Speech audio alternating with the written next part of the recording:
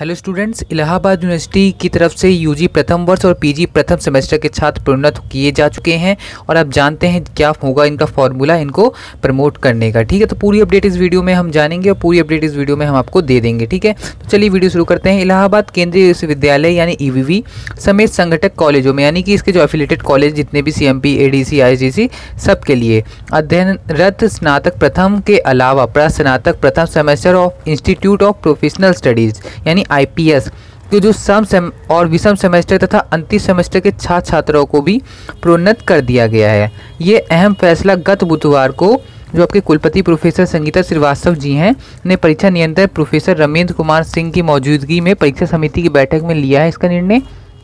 और ईवीवी के जनसंपर्क अधिकारी डॉक्टर जया कपूर ने बताया है कि परीक्षा समिति की बैठक में लिए गए निर्णय के मुताबिक स्नातक पाठ्यक्रम के तहत बीए, बीएससी और बीकॉम प्रथम वर्ष के सभी छात्रों को द्वितीय वर्ष में प्रोन्नत कर दिया गया है। द्वितीय वर्ष की परीक्षा उत्तीर्ण होने के बाद यानी कि जब आप सेकेंड ईयर की परीक्षा कंप्लीट कर लेंगे या फ़र्स्ट ईयर तो प्रमोट कर दिया गया आपको सेकेंड ईयर में अब जब सेकेंड ईयर में आप अपनी जब परीक्षा पास कर लेंगे तो द्वितीय वर्ष में प्रोन्नत कर दिया गया। द्वितीय वर्ष की परीक्षा उत्तीर्ण करने के बाद उसकी जो फाइनल आपकी मार्कशीट बनाई जाएगी उसी में आपका फ़र्स्ट ईयर और सेकेंड ईयर के मार्क्स जोड़ दिए जाएँगे, यानी कि मार्कशीट तब जारी की जाएगी।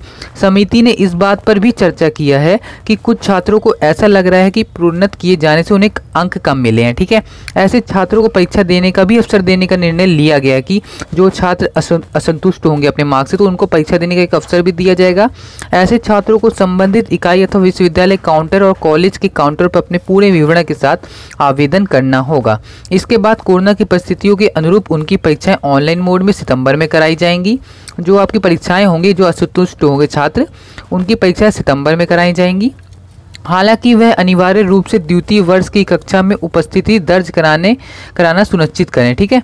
विषम सेमेस्टर के तहत प्रास्नातक और प्रोफेशनल पाठ्यक्रम के प्रथम द्वितीय के अलावा पाँचवें और सातवें और नौवें सेमेस्टर के छात्रों को अगले सेमेस्टर में प्रोन्नत कर दिया गया है, ठीक है? अगले सेमेस्टर में लोगों को प्रोमोट की, प्रोन्नत कर दिया गया नहीं, प्रमोट कर दिया गया है। अक्टूबर में होगी अंतिम सेमेस्टर की परीक्षाएँ देखिए इसका भी जान लीजिए। और आगे आप फ़र्स्ट ईयर के लिए भी आगे न्यूज़ है, वो भी बताएँगे, और थर्ड ईयर के लिए भी बताएँगे। अक्टूबर में अंतिम सेमेस्टर की परीक्षा परीक्षा समिति ने प्रस्नातक और प्रोफेशनल पाठ्यक्रम के अंतिम सेमेस्टर और सम सेमेस्टर की जो परीक्षाएँ हैं आपकी, अक्टूबर के पहले सप्ताह में कराने का निर्णय लिया है, ठीक है? जो आपकी सम सेमेस्टर की और अंतिम सेमेस्टर की परीक्षाएँ अक्टूबर के पहले सप्ताह में कराने का निर्णय लिया है। हालाँकि अभी तय नहीं हो सका है कि परीक्षाएँ किस मोड में आपकी कराई जाएँगी, ऑनलाइन की ऑफलाइन। कोविड नाइन्टीन की स्थिति को देखते हुए, देखने के बाद ये निर्णय तय होगा। ठीक है, सभी विभागों और सेंटर से अपेक्षा किया गया है कि वह अगस्त के अंतिम सप्ताह तक पाठ्यक्रम और इंटरनल असेसमेंट पूरा करा लें। ठीक है, जो आपकी अंक सुधार के लिए परीक्षा होने वाली है। थर्ड ईयर की देखिए इसके बारे में जान लीजिए। कोरोना की वर्तमान स्थिति को देखते हुए विश्वविद्यालय स्नातक अंतिम वर्ष की अंक सुधार परीक्षा कराने में सक्षम नहीं है, क्योंकि कोविड की वजह से अब कोई अंक सुधार थर्ड ईयर का नहीं होगा। इस लिहाज स्नातक द्वितीय और तृतीय वर्ष में प्रोन्नत करते वक्त छात्रों को दस फ़ीसदी और सात फ़ीसदी अतिरिक्त अंक प्रदान किया गया था। ठीक है? इसके बाद ही मार्क्स, मार्कशीट जो है आपकी आपको प्रदान की जाएगी। और जो कोविड नाइन्टीन की स्थितियाँ हैं, वो काफ़ी हद तक बढ़ चुकी हैं, ठीक है? और इसके बाद मार्कशीट आपको जारी कर दी जाएगी और आगे पढ़ते हैं। सिरे से खारिज हुई साठ फ़ीसदी अंक, जो आपके साठ फ़ीसदी अंक पाने के लिए जो आपके एनएसयूई के छात्र प्रधारना प्रदर्शन कर रहे थे कि एन की तरफ़ से गत दिनों से ये मांग किया जा रहा था कि सभी छात्रों को 60 फ़ीसदी अंकों के साथ प्रोन्नत किया जाए।